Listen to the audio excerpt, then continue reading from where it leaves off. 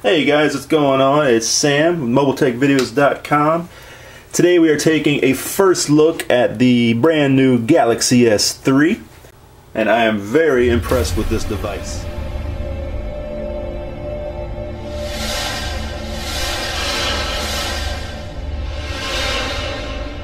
So I figured the first thing we would do is take a look at a size comparison between the Galaxy S3 here and the Galaxy Note.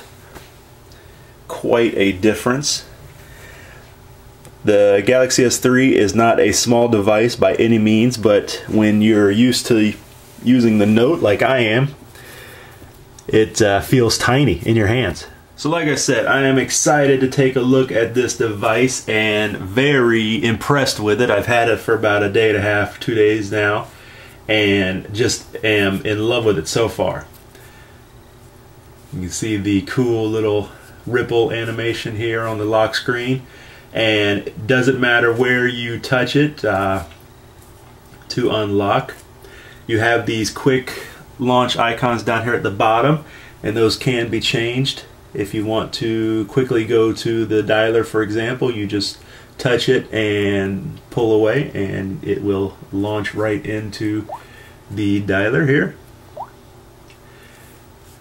So this thing is all about speed and smoothness. Uh, I have had my first Android phone was the Galaxy One, the Captivate on AT&T, and then I moved up to the Galaxy S2 and then went to the Note and now am here with the Galaxy S3 and man I gotta say this is by far the best experience out of any of them that I've had I mean it's just super fast very little lag anywhere and this is on the stock ROM here uh, I haven't done a custom ROM at all so just super quick. Everything pops in. You've got your button here.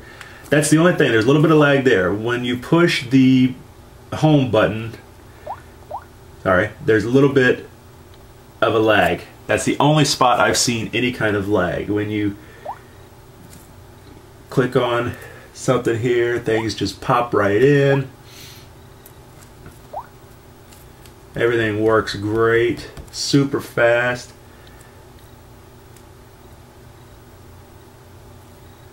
just phenomenal. I like the little animation there showing you you have multiple toggles up here at the top that you can play with. Camera takes phenomenal pictures. In fact, I will add some pictures here at the end of the video to show. I took some uh, pictures in the full 8 megapixel, the highest resolution, and they turned out great.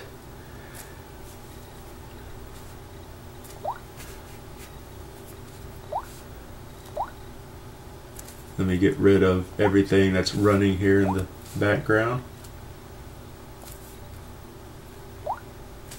Stop pushing it.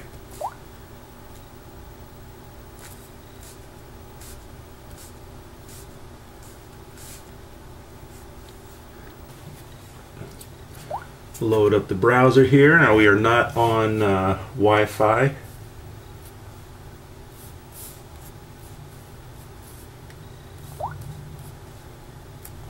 Load up our site, mobiletechvideos.com, and you see it. I mean, it's pretty quick. Just over, and I'm not even in LTE area. This is just normal 4G. Do the pinch to zoom, works out great. Let me do two fingers. Pinch to zoom is super quick.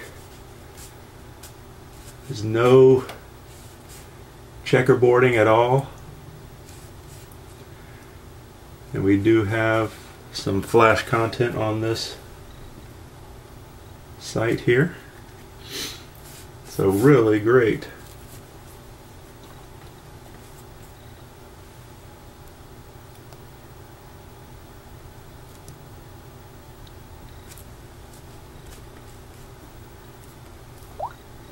Now this is the Canadian version, uh, so some of the apps are different.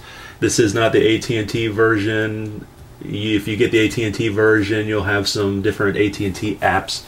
A lot of them are the same though. Navigation, uh, a lot of the Google apps are all going to be the same. But just very, very impressed with this. TouchWiz 4.0 is great. If you want to add a widget, and the widgets are just super fast, load right up.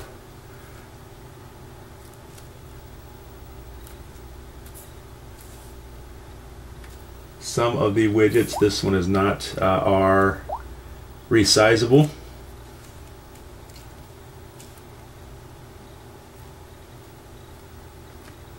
Guess that one's not either, but just great.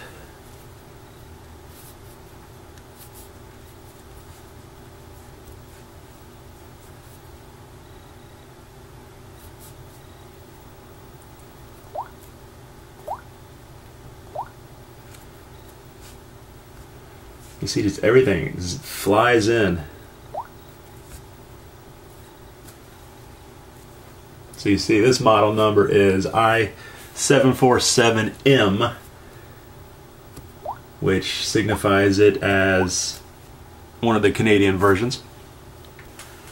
Battery life has been great. I charged it yesterday morning and you see I still have 43%. So excellent there. Call quality was great. Individuals that I spoke to on the phone claimed that they could hear me just fine.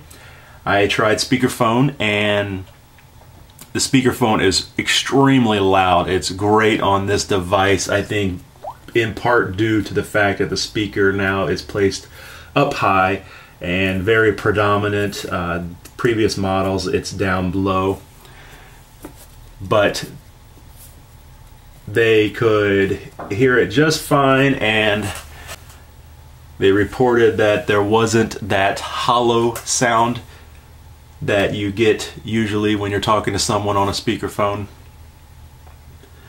Also, the audio in general for this phone is in incredible. The ringtones, the notification sounds come out super loud. I've been found myself having to turn it down whereas on my note I have them I have to turn them up in order to hear them well.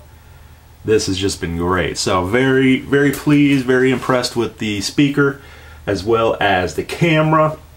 The smoothness of the UI the scrolling around and things. So I can't wait to try a custom ROM on this there are some Jelly Bean ROMs out right now. CyanogenMod 10 Jelly Bean apparently on this device is just incredible with the Project Butter.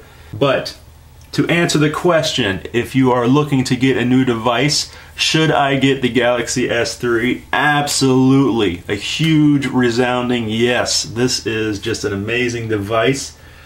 Once I get used to the smaller size, coming from the Note. I'm so used to that big, beautiful screen. Once I get used to that smaller size, I think it's going to be awesome.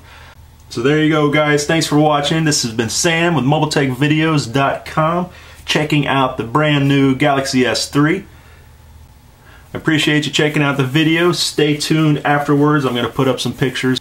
Also, don't forget to check us out, MobileTechVideos.com, your complete source for all your device needs. You can also follow us on Twitter and like us on Facebook. I will see you next time.